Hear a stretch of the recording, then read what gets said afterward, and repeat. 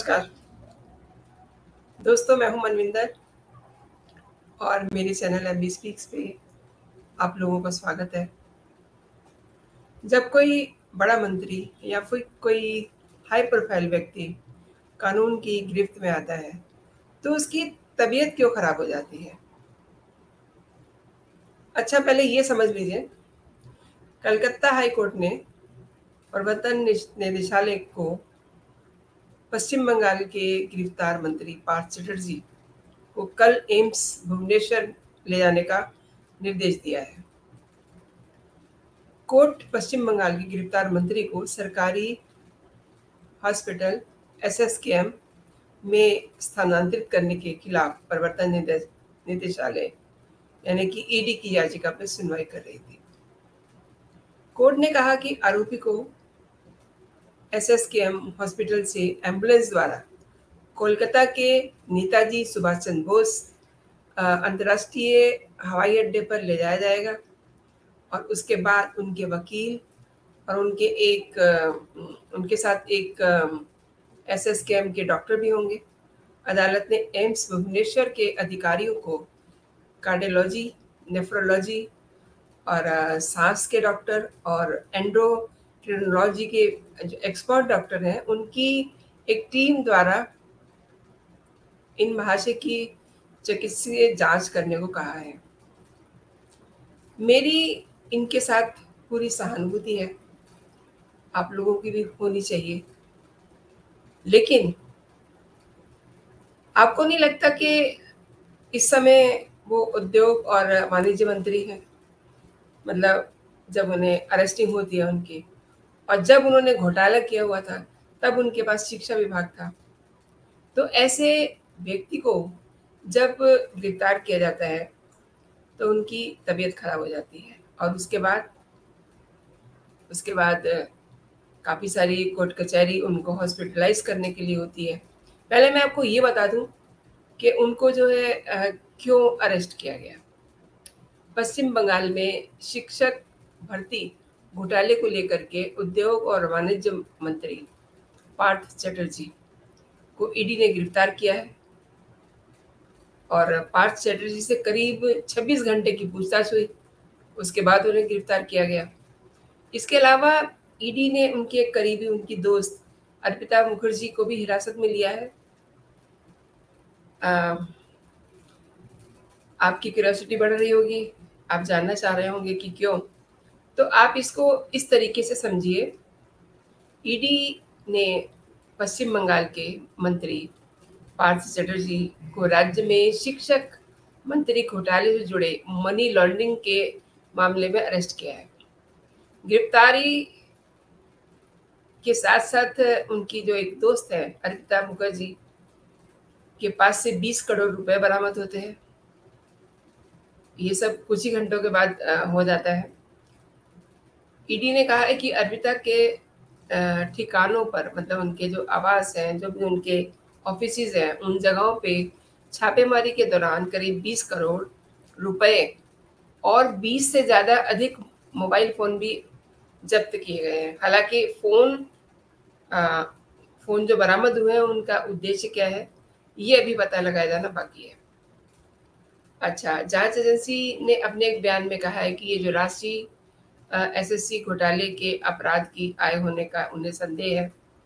ये एजेंसी ने अपना जब बयान जारी किया तो उसमें कहा पार्थ चटर्जी इस समय उद्योग और वाणिज्य मंत्री हैं, लेकिन जब घोटाला हुआ था, जैसा कि मैंने आपको बताया, तब उनके पास एजुकेशन डिपार्टमेंट था। नकदी की बरामदगी के बाद रात भर रात भर तनमूल नेता से पूछताछ की गई। और जाँच एजेंसी ने करीब 26 घंटे की पूछताछ के बाद चटर्जी को गिरफ़्तार किया। मतलब ऐसे ही हवा में उन्हें गिरफ़्तार नहीं किया था। उनको 26 घंटे की पूछताछ होती है, उसके बाद उनको गिरफ़्तार किया गया। गिरफ्तारी के बाद उनको कोलकाता के बैंक शॉल कोर्ट में पेश किया गया। इसके अलावा ईडी ने शिक्षा राज्य मंत्री परेश सी अधिकारी और पश्चिम बंगाल प्राथमिक शिक्षा बोर्ड के पूर्व अध्यक्ष माणिक भट्टाचार्य और उनके अन्य परिसरों सहित लगभग एक दर्जन स्थानों पर छापेमारी की। इसके अलावा कल्याणमय भट्टाचार्य कृष्णा सिंह अधिकारी और पश्चिम बंगाल केंद्रीय विद्यालय सेवा आयोग के सलाहकार डॉक्टर एस पी सिन्हा के यहाँ भी छापेमारी हुई। अच्छा एक खास बात यह है कि तृणमूल कांग्रेस ने अर्पिता मुखर्जी से ये कहते हुए एक डिस्टेंस बना लिया है, एक दूरी बना ली है कि उनका पार्टी से कोई लेना देना नहीं है। टीएमसी महासचिव कुणाल घोष ने ट्वीट किया, ईडी द्वारा बरामद धन का तृणमूल से कोई लेना देना नहीं है। जिन लोगों का नाम इस जाँच में है, ये उनकी ज़िम्मेदारी है कि वे या उनके वकील इन सब सवालों का जवाब दें। मतलब उन्होंने अपनी सफ़ाई दे दी, एक ट्वीट करके।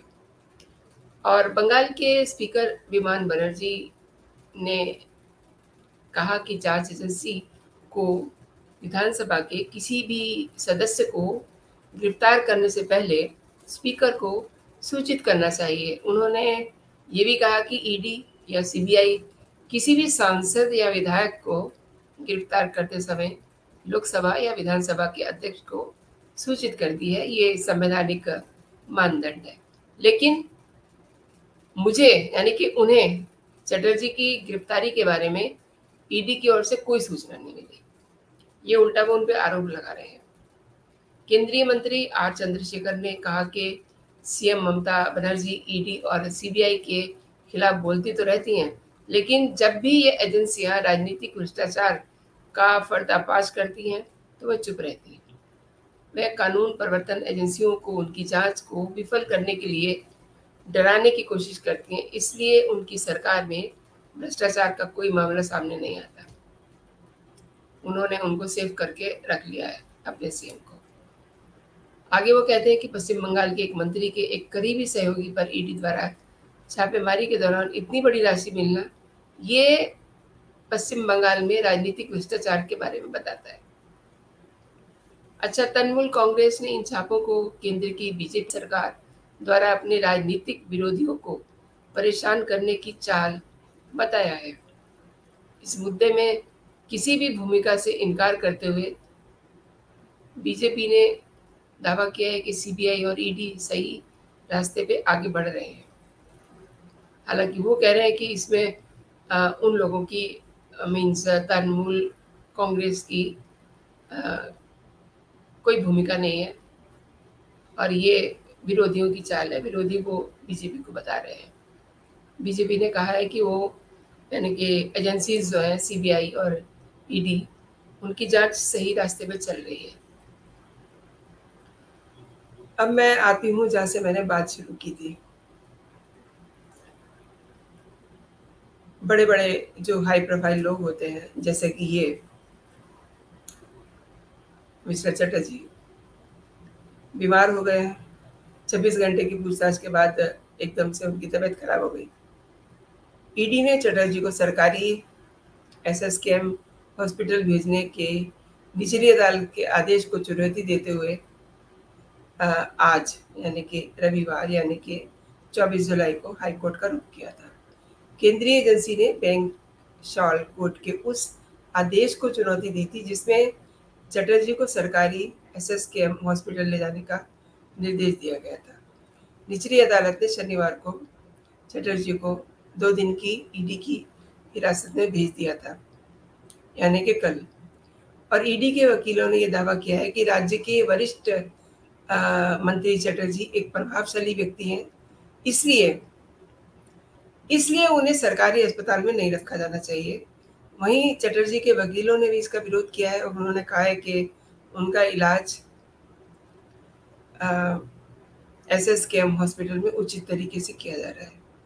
तो आप ये बताइए कि इतना बड़ा घोटाला उनके दोस्त के पास से करोड़ों रुपए मिले हैं, पूछताछ हुई है।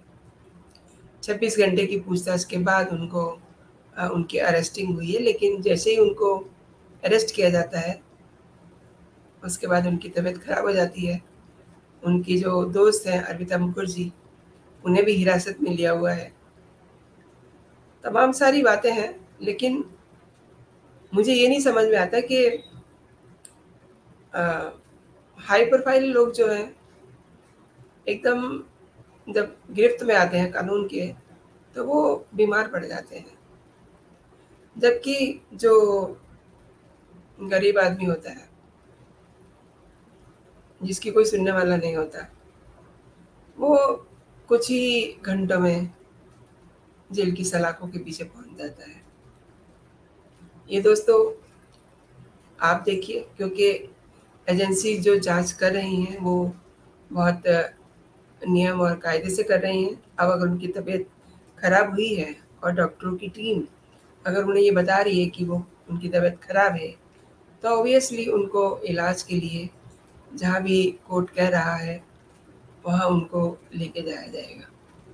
क्योंकि उनका ये कहना है कि उन्हें सरकारी हॉस्पिटल में अपना इलाज नहीं करवाना है। एक तो ये बात कि सरकारी हॉस्पिटल फिर बनाए किस लिए है? अगर वहाँ किसी को इलाज ही नहीं करवाना, उनके लोग ये कह रहे हैं कि वो बहुत बड़ी हस्ती हैं। इसलिए उनका इलाज वहाँ नहीं करवाना है। तो इन हॉस्पिटल्स को किन के लिए बनवाया गया है? दूसरा ये कि उनकी तबीयत खराब हुई है तो अब उन्हें अच्छी से अच्छी जगह पे ले जाया जा रहा है। बाकायदा वो इसके लिए आ, कोर्ट भी जाते हैं और उनको जो भुवनेश्वर के एम्स है वहाँ पे उनको ले जाने का निर्देश दिया है।